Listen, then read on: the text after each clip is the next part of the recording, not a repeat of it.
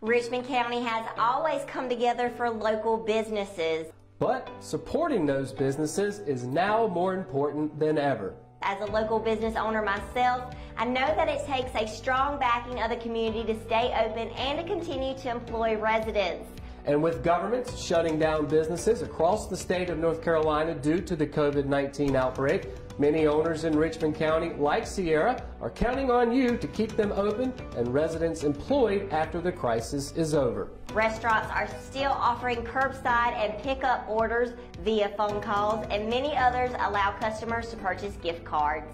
This is a time for Richmond County to come together and show support for one another. We can still practice social distancing while supporting those who will be affected by the coronavirus pandemic now and after.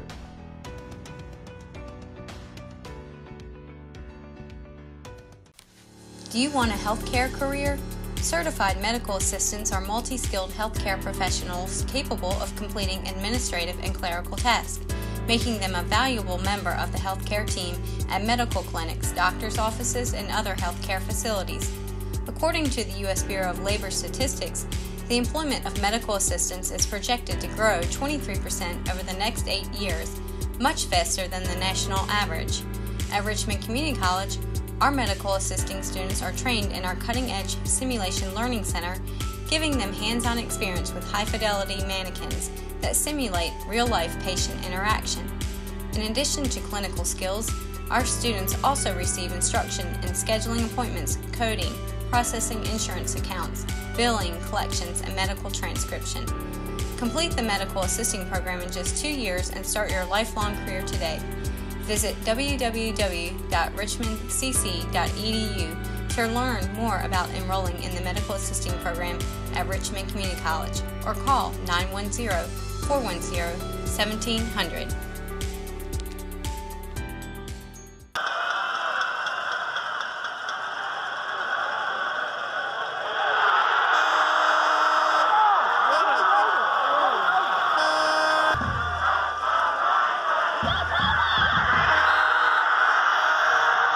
All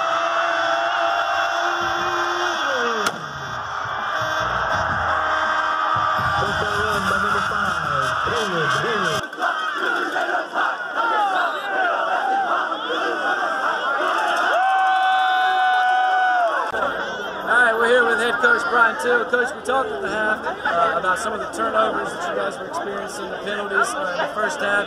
Obviously, you guys were able to shore that up a little bit. How were you able to do that? Well, again, I just think we just kept playing, and, and like I said, we were, we were in coverage early, and our kids were in great condition. They were able to keep running, keep and just, you know, it takes a little bit to get used to the speed of those kids as, good as they are. And I think playing Hough last week prepared us a little bit the speed there, and then to continue playing and realize, hey, what I got to do with my feet, where I got to be.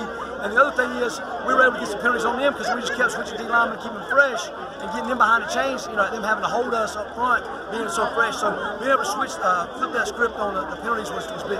Yeah, and I kind of want to piggyback off of what you just said.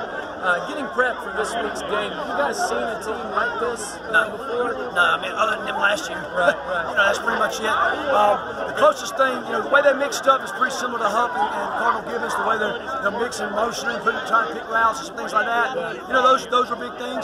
Um, you but, but, but yeah, the speed the speed last week from Hough helped us prepare a little bit. We haven't seen that kind of speed in the wide out position, you know, in several, several weeks. So that helped us a lot. Our kids even said afterwards, man, coach, I was gassed, but I know I got to be even more ready this week. So that I think that, that the way that the, the playoff bracket set up helped us get prepared for this game. And speaking of the playoff bracket, obviously at this moment you don't know who you're going to be facing next week. So with that being said, how do you prepare in the upcoming week? Uh, well, big thing is just watching film, getting look at Vance, seeing what we're going to do, and uh, seeing how they have, they, they, they played against uh, Western Forsyth and those those teams uh, previously, Mallard Creek, who's probably pretty similar to us in a lot of ways. So seeing what they did in some of those sets and, and just trying to get a game plan together is the big thing. All right, last question for you, Coach. Uh, obviously, it's time to celebrate a little bit. Uh, how long is the celebration going to last, and then uh, what are you guys going to do? Well, the boys, the boys will get to celebrate until Monday. Uh, I'll, I'll celebrate till about 12 o'clock night, Right. and then uh, uh, we'll, we'll try everything we can to get to work at that point. We have we have maybe one Vance film right now, uh, so we'll have to start getting some Vance film in, uh, and that's just from trading uh, where they played some other guys earlier. So uh, you know, we'll see what what we can find out. But uh, that's the big thing. Is, is for me, this is great. But I know my job is prepared to you. I actually do their job. I do my job. All right, congratulations, Coach.